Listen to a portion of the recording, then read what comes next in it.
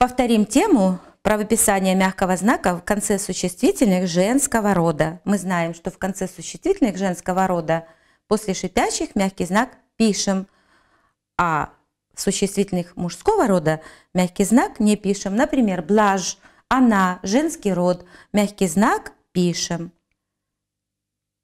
Блажь, записывай, это она, это значит прихоть, каприз, блажь. Она мягкий знак что? Пишем. Брошь. Это тоже она, брошка, значит. Брошь. Она, мягкий знак пишем. Вещь. Глушь. Глушь. Гуашь. Гуашь – это женский род, это краски. Краски для рисования. Гуашь. Мягкий знак пишем.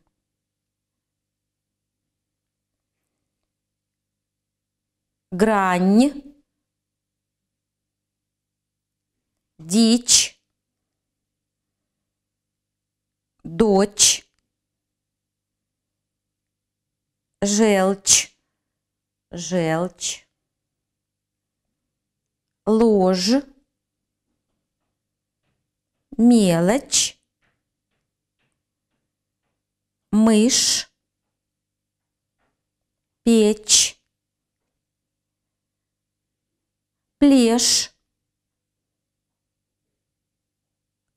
Плешь это значит, если у животного шерсть, то вот шерсти залысина, или у человека – волосы густые, а бывает, что нет волос, место, где нет волос или нет шерсти, называется плешь.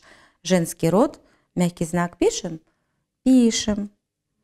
Полночь, одним словом пишем. Полночь, она, женский род, думаем. Теперь проверим.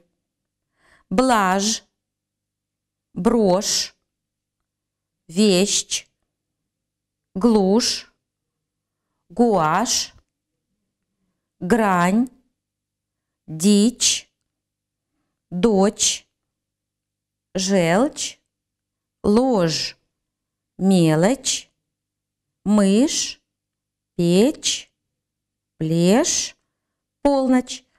Ты заметил, что все существительные здесь женского рода? И запомнили, существительных женского рода мягкий знак пишем. Всегда думай, какого рода имя существительное.